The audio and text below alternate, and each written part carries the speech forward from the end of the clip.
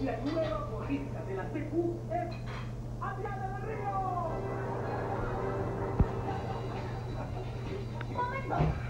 Andrés no puede ser la elegida.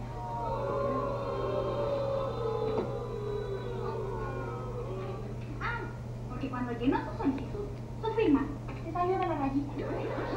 Ay, por favor, no hay ninguna regla que diga que eso está prohibido.